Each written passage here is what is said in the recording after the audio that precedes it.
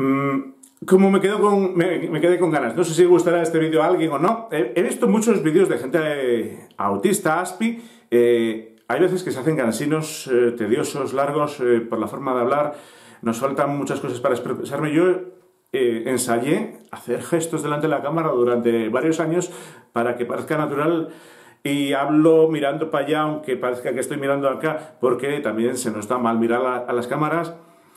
Y bueno, hablando de cosas que no entendía de la sociedad, eh, a mí me parece, bueno, que, ojo, que cada persona es diferente y todos los Asperger somos diferentes. Que hay veces que me dicen, nos intentan englobar, encasillar y tienes a la típica madre de un niño autista o ASPI en el grupo de Facebook pidiendo consejo a las demás, incluso de medicinas, mi hijo toma o le van a recitar, ¿qué tal le sienta esto? A ver, que no, que cada niño es distinto, tanto neurotípico como Asperger. A ver, a tu hijo le gusta el fútbol, pero al otro el baloncesto, y al otro el béisbol, y al otro danza clásica, y el otro va a bailar ballet, y el otro hace karate. O sea, eh, los niños normales o neurotípicos, cada uno hace una cosa diferente. Pues los Aspis igual.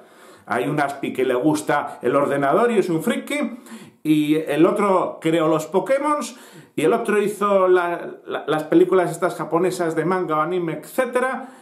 No los conozco a todos, he oído hablar, he leído algo.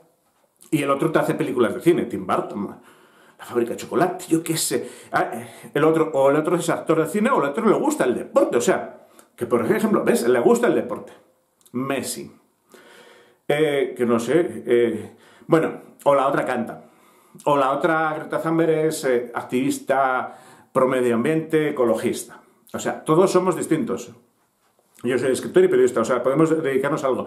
No penséis que los aspis estamos en casa encerrados todos los días en la cama y somos eh, seres incompetentes que no hacemos nada. Hay gente que tiene dificultades, hay también grados de dificultad y hay gente que ha aprovechado su dificultad para hacer algo que le guste y tiene ahí una carrera cinematográfica ya puede ser como director de cine o como actor. Os hablé de Woody Allen, de Tim Burton, eh, Spielberg, etc. Os hablé de Dan Aykroyd, siempre lo pronuncio mal, lo siento, en inglés, bueno, el de Cazafantasmas, así nos aclaramos, eh, Keanu Reeves, o yo qué sé, eh, ¿ves? Es que hay muchos, Anthony Hopkins.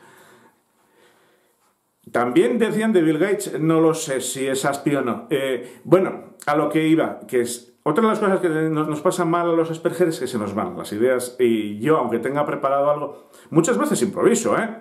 Y os suelta que una chapa, cuando un tema nos apasiona, aburrimos al interlocutor. Que esto, mira, lo, lo trataré en otro tema, en otro vídeo, porque igual da para hablar. Eh, ¿Por qué no socializamos? ¿O por qué nos cuesta socializar? ¿O cuál es el problema eh, que tenemos más para relacionarnos socialmente. No sé si hablar de este tema y cambiarlo, lo que iba a hablar hoy para otro vídeo, porque ahora lo tengo eh, refrescado. A ver, pues porque luego igual se me va a olvidar la, idea. Y bueno, si me empiezo a hablar de otro tema y me voy a los cerros de Úbeda, como se suele decir, hay veces que entendemos expresiones de estas y ojo, hay otros aspis que no las entienden y entendemos literal. Esto para los padres eh, no digas cerros de Úbeda porque el, ASPI se imagina que te vas al, cerro de, Úbeda, del pueblo de allí. Bueno, significa ir lejos, al quinto pino. Primer pino. la mente ASPI piensa así. Ah, pues hay un pino, segundo, esto, me voy al quinto. Eh, sí, somos muy así. Eh, somos inocentones. A veces somos como críos. A veces eh, somos algo inmaduros, en mi caso. Y ¿Qué nos cuesta de socializar? Aparte de que no entendemos la sociedad, no sabemos cuándo entrar en una conversación y cuándo salir de ella. No interactuamos bien. De hecho, yo tengo el problema, cuando hablo con la gente, cuando la gente habla conmigo, eh, tardo en pensar la respuesta. Yo a veces que estoy tres o cuatro días, obsesión Asperger, luego Mm, rebobinando. ¿Os acordáis de las cintas de vídeo VHS o de los cassettes, los de mi generación? Pues mi cerebro es como una cinta de VHS. grabo la situación la pienso, voy andando yo solo por mitad del campo dándole vueltas a mi cabeza y entonces se me ocurre la respuesta, así tenía que haber reaccionado, tendría que haberle dicho esto a... Pero claro, la, conversación acabó ya hace cuatro horas. Entonces ya no vas a volver y decir, ah, pues aporto mi idea. Eh, yo he tenido, me denunciaron por el periódico, trabajo en un periódico local, creé, fundé un periódico local y me denunciaron pues por una estupidez. A mí no, vamos. Una carta al director, un señor pegó a una mujer. Hubo un señor que le pareció mal que se pegase a las mujeres. A mí también me parece mal que se peguen a las mujeres. Y entonces mandó una carta al director, o sea, estas cartas que te mandan al periódico diciendo, oh, qué mal me parece que haya actos de violencia en el estadio de fútbol y que un hombre pega a una mujer.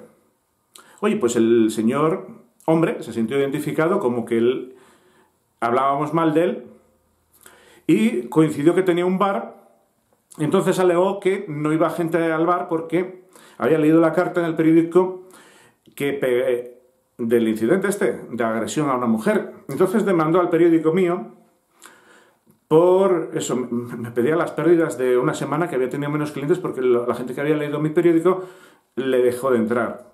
Dije, mira, uno, no, no sé quién eres tú. Dos, no pone nombre de nadie en la carta, ni tampoco pone razón social. Y sí creo que mencionaba que esta persona tiene un bar y está en una, no sé si charanga o peña futbolística no sé qué, o tocando el tambor de estos que se van a animar al equipo. Bueno, yo no estuve allí, no vi el enfrentamiento. Eh, ¿Qué os quería decir? Ya se me ha ido la onda, se me ha ido el salto al cielo, perdonadme. Bueno, pues eh, imaginaros cuando a mí me lleva a juicio el abogado de este señor diciendo que se sentía reconocido en la carta al director que habían publicado en mi periódico y que me pedía la indemnización, yo, a mí me pareció raro y lo, más, el razonamiento que le dije yo a su abogado, le dije, mira, nadie sabe quién es tu cliente, nadie sabe que tu cliente ha pegado a una mujer, los que lo vieron no lo denunciaron, la mujer, yo sé que, porque me llamó, que porque había publicado y me dijo que no iba a denunciar, la gente del campo fútbol que vio esto, sé que hasta la Guardia Civil estuvo allí porque le dijo, oye, quieto, eh, retírense o apártense, no armen aquí jaleo. O sea que sé que los hechos ocurrieron, sé que esto pasó. Nadie le ha metido en berenjenales a tu cliente o tu representado por pegar a nadie, delito de agresiones, y va a ir tu cliente delante de un juez a decir que él se siente reconocido en... Bueno, pensamiento aspergera, a mí me parece absurdo, pero me llevaron. Bueno, pero a esto no venía el tema. Gané el juicio, lógicamente, porque luego él no se sentía reconocido. Cuando le preguntó a la juez, dicen que, en que se siente reconocido, porque la carta solo se hablaba de dos personas y no se daba nombre de ninguna. Se hablaba de una mujer agredida y de un hombre agresor. Él era el hombre. No sé quién sería él de los dos. Bueno, a lo que iba. Eh, lo que me costó a mí ante el juez por declarar, porque claro, si pensamos así como te digo que pensamos, yo no puedo responderte en una conversación normal, otros sí, ¿eh? igual otro Asperger sí. Yo no. Eh, de hecho, me grabo en vídeos y escribo un periódico porque habla en radio. Ah, hombre, yo podía hacer radio y fórmula y pinchar discos o hacer otras cosas, pero me costaría mucho eh, estresarme natural en una conversación fluida. Bueno, yo sigo conversaciones fluidas, pero hay cosas que cuando se meten contigo, te hacen un vacile, te sueltan una indirecta, un sarcasmo, te hablan con segundas o te hacen una de estas comparaciones que, no entiendes y no las pillas, eh, no pillas la conversación y quedas... Eh, fuera de ella. Entonces no te integras bien en el grupo y no eres capaz de seguir el ritmo normal y no socializas. Sin embargo, yo, obsesión ASPI, y, bueno, como nos aburrimos, bueno, no, es que nos aburramos, yo, es que tengo, bueno, no tenemos relaciones sociales, algunos, a otros ASPI sí, yo no mucho, eh, entonces paso el tiempo solo paseando por mitad del monte. Y además elijo sitios donde no hay mucha gente porque me agobia la, población. Entonces le voy dando vueltas a la cosa, a eso me refería en la obsesión Asperger, eh, a la situación que he vivido. O sea, yo eh, estoy en un acto, en un sitio, me pasa algo y mi cerebro es como una cinta VHS de vídeo de las de antes, eh, no sé qué ejemplo poner a la gente de ahora. Bueno, grabo o sea, se me queda grabado en el cerebro las frases, las palabras, incluso los gestos. Y algo que no me había dado cuenta, porque me cuesta dar, de hecho nos cuesta a todo el mundo darnos cuentas de cosas en directo, eh, una vez que rebobino y pienso para, eh, pienso, sí, rebobino para atrás. Eh, es que el ejemplo de las cintas de casete es muy bueno, o las de VHS. Entonces dije, anda, no te, como cuando ves tú una película de vídeo, bueno, es que has que tener una edad para una película de vídeo de las de antes. Bueno, también sirven con las de DVD, pero es que ya tampoco hay DVDs. Bueno, pero en internet, si las ves online, eh, tienes la opción de volver para atrás y volver a ver y entonces te das cuenta de algún detalle que te ha pasado desapercibido. Pues mi cerebro es igual. Yo estoy en una conversación y hay muchas cosas que no me entero, no capto. Que mucha gente, la gente normal o neurotípica, sí capta, no se las pierde y entonces interviene en las conversaciones. Eh, mi cerebro Asperger no lo ve, no ves las ironías, las segundas que te están gastando una broma, entonces quedas como tonto y se ríen de ti porque no la has pillado. Luego hay veces que, ya te digo, voy paseando por mitad del campo y voy rebobinando y pensando, ah, y digo, ah, una vez me acuerdo, mira, os voy a poner un ejemplo para acabar. Eh, ligué en la playa eh, con un alemán y ya horas después de que se marchó, dije, este tío está colado conmigo y me proponía para quedar al día siguiente, pero no lo vi. O sea, soy tan tonto. Bueno, no, es que sea tonto, es que soy eh, lento, como el anuncio este de las pizzas de Casa de Bellas. Tú eres lento. Pues yo eh, tardo en darme cuenta de algunas cosas que otras personas ven al momento, entonces me cuesta más interactuar. Eh, y pues en un juicio, pues eh, cuando fui al juicio, tuve durante los meses antes que prepararme todas las posibles respuestas y las posibles preguntas que me podían hacer. Y claro, esto en un juicio que sabes que te van a juzgar de algo, eh, puedes prepararlo, pero en una conversación en un bar no sabes de qué vas a hablar ni, de qué va a hablar la gente, entonces a mí me cuesta eh, aclimatarme a la conversación. Aunque ya te digo, yo igual estaba hace 10 veranos en Castrudiales en la playa y vino una chica inglesa y preguntó por la oficina de turismo y no, y 10 años después, bueno, en el momento la di una explicación, pero a mí las explicaciones que doy igual, eh, digo, no me parece muy completa, no, concreta, le, le, podía haber explicado mejor y entonces llevo 7 años pensando cómo, eh, si se me volviese a dar la situación, darle mejor la explicación o la orientación para que llegase desde aquel punto a la oficina de turismo en inglés.